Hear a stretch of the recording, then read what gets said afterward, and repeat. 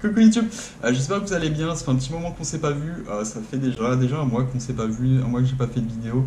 Euh, désolé pour ça, j'avais pas vraiment le temps ces derniers jours, il y avait aussi des problèmes au niveau du temps global, il y avait pas mal de dépressions qui sont passées à côté de la Réunion. Euh, donc il y avait toujours un problème, soit c'était le vent, soit la pluie, soit les vagues. Euh, en ultralight, c'est pas forcément agréable de pêcher dans ce genre de, conditions. Donc euh, j'ai préféré attendre pour arriver au bon moment, quoi, prendre du plaisir, c'est ce qui compte avant tout. Bah, donc désolé, désolé à par exemple DSF SHRD à qui j'avais promis de faire une vidéo prochainement. Euh, une promesse que j'ai pas tenue, désolé bro. Euh, par contre, il va falloir aussi que tu m'expliques ton pseudo parce qu'il est assez spécial, euh, j'ai galéré à le prononcer. Euh, sinon, euh, on est reparti pour une nouvelle vidéo. Donc cette fois-ci, on va se retrouver pour euh, Saint-Paul. Euh, c'est un spot que j'avais pas encore fait. C'est un spot où je suis allé qu'une seule fois. Donc euh, c'était ma deuxième et la première fois c'était totalement foireux. Il y avait trop de vagues. Et donc euh, on est parti pour Saint-Paul. Euh, c'est au niveau de la rivière de Saint-Paul, donc euh, au niveau de l'écoulement. Euh, derrière le parcours de santé, de toute manière, euh, je vais vous montrer la route. Vous allez euh, voir en détail par où il faut passer. Et puis voilà, on se retrouve au lieu de pêche et c'est bon pour cette intro. Ciao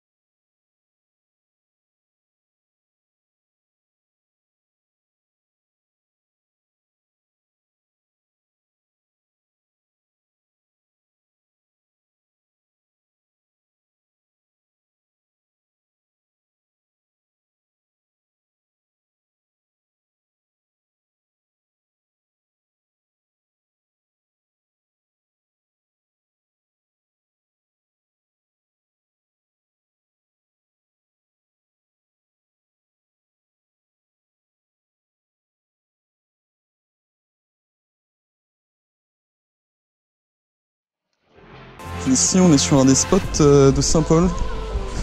Euh, c'est derrière le parcours santé, à côté de la ravine. Euh, pas loin de la bibliothèque, qui est pas loin de. de... Ça sera bon comme ça. Donc aujourd'hui, on va pêcher. On va commencer au jig, micro jig. Donc micro jig, par contre, vous voyez, j'ai encore un triple. J'aurais dû le remplacer par un simple. C'est c'est beaucoup plus pratique, on abîme moins les bestioles, euh, ça s'accroche moins et puis c'est mieux. Et on perd pas de poisson hein, avec le simple, euh, contrairement à ce qu'on pourrait penser. La plupart des professionnels vous le diront.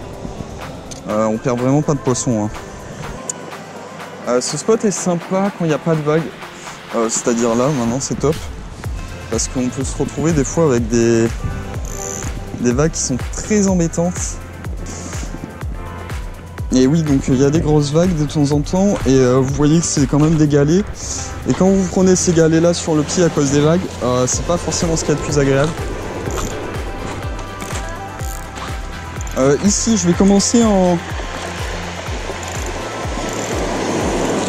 Je vais commencer au jig, parce que ça va me permettre d'atteindre des bonnes distances, contrairement à leur souffle.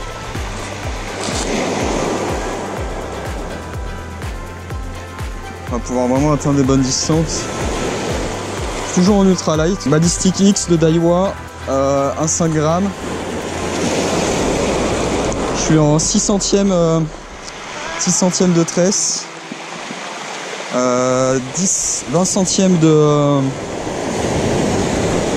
Décidément ça fait du bruit. 20 centièmes de, de fluorocarbone. Alors non, contrairement à ce que vous pourrez penser, je n'ai pas oublié de nommer le moulinet, euh, qui est un Legalix LT 1000D XH, et c'est pour ça que je...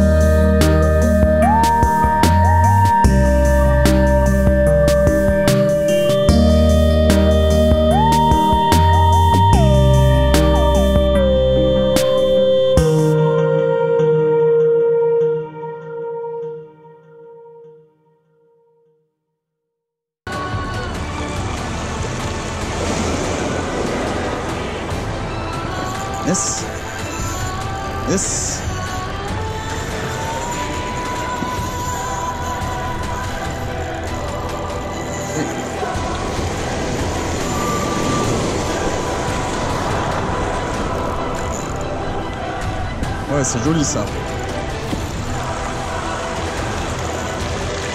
C'est joli.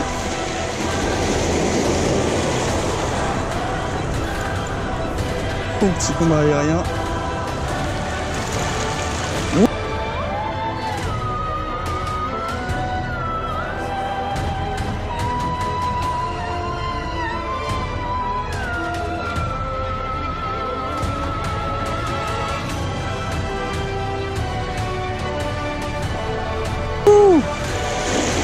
C'est beau hein.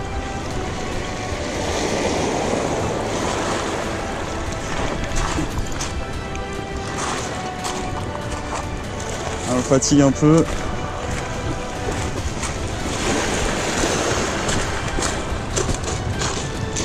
Impeccable Alors, je n'ai aucune idée de ce que c'est. Ce que je vois, c'est que ça a des épines.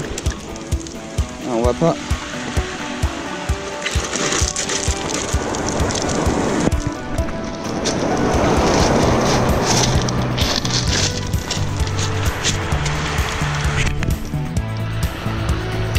quand vous savez pas c'est quoi comme poisson, évitez. Hein. Là vous voyez qu'il y a des épines, probablement venimeux.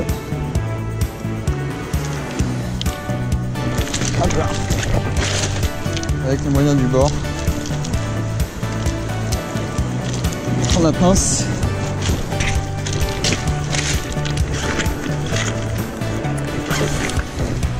Allez on se dépêche. Hop là. On laisse pas trop s'enrouler non plus.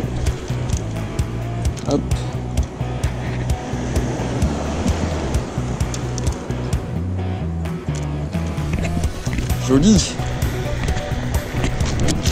Ah, ça c'était pas cool pour lui.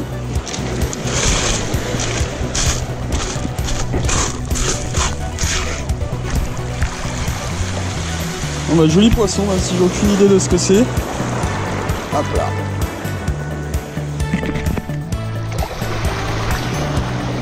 Joli combat en tout cas. C'est beau. C'est bien beau. Ah, c'est un beau poisson, hein. Sincèrement. Yes Et voilà. Premier poisson de la reprise. C'était plutôt sympathique. Ah, j'ai galéré, je posais le toucher euh, parce que tout simplement je le connais pas et euh, j'ai vu qu'il avait des épines généralement c'est pas c'est pas bon signe euh, donc j'ai un peu galéré j'avoue. Je t'ai fait tomber et tout mais bon il, est reparti. Je pense qu'il n'y aura pas de soucis pour lui. En tout cas très beau. Il nous a fait des jolis combats aériens. J'espère que j'ai bien cadré tout ça. Et c'était vraiment c'était vraiment fun là. Pour le coup euh, je voulais rajouter un petit message de prévention. Alors là, on le voit pas trop, mais à plusieurs reprises euh, pendant la vidéo, euh, l'eau pouvait m'arriver jusqu'aux genoux, voire jusqu'aux cuisses. faites super attention avec ça. Il y a moins d'un mois, il y a un pêcheur de Bichy qui est décédé à La Réunion à cause de ça. donc il s'est fait sectionner la jambe au bord, donc il avait vraiment de l'eau jusqu'aux jambes. Il venait d'arriver, il venait d'arriver sur le site. En moins de deux minutes, il s'est fait choper la jambe et il est mort suite à cette blessure. Donc euh, faites super gaffe avec ça. Euh, évitez de trop euh, tremper dans l'eau. surtout à des endroits comme ça, vers Saint-Paul et tout, c'est super dangereux. Donc faites attention avec ça.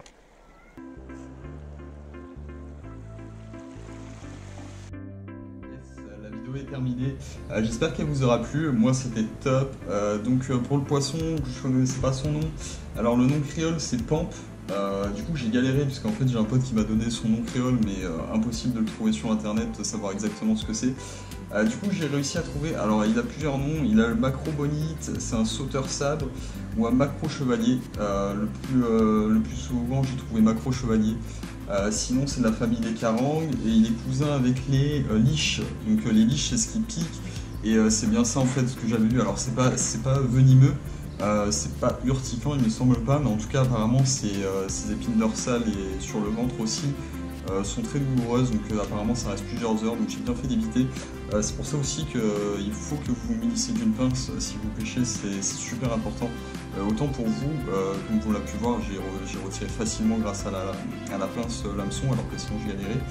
Et même pour l'animal, pour le, poisson, ça va être beaucoup plus simple pour lui. Enfin, vous allez moins l'abîmer et ça sera plus simple. Et donc sinon pour les prochaines vidéos, on va essayer de changer un peu de style de pêche. Donc pour l'instant on a fait beaucoup de pêche au leurre souple, donc par exemple avec le Black Minnow qu'on a, a quand même pas mal testé depuis le temps. Euh, on l'a vu en long, en large, en travers, même si on est resté sur la même taille. Euh, on l'a essayé pas mal, je pense que lui je vais le mettre un peu de côté, je vais, continuer à pêcher au leurre souple mais on va emprunter d'autres leurres. Euh, on a fait de la pêche au jig, donc maintenant on va essayer de faire d'autres types. on va essayer de faire la pêche au calamar, donc avec la turlute. On va essayer de faire aussi du drop shot. Euh, donc si vous ne connaissez pas cette pratique, je vais vous la montrer. À La Réunion, c'est un peu compliqué avec les récifs, mais il y a toujours moyen. Euh, je vais essayer de faire ça et puis voilà. Sinon, on en a fini pour aujourd'hui. Je vais donc vous faire ça rapidement. Je vais essayer, je vais essayer de pas traîner comme, euh, ça a été le cas. Évidemment, comme d'habitude, si tu as aimé la vidéo, n'hésite pas, lâche un pouce, ça fait plaisir. Abonne-toi, ça me montre que j'ai du soutien derrière. C'est toujours, ça me fait toujours plaisir, très franchement. Et donc c'est tout pour moi. Euh, passez une bonne journée, prenez soin de vous et à la prochaine.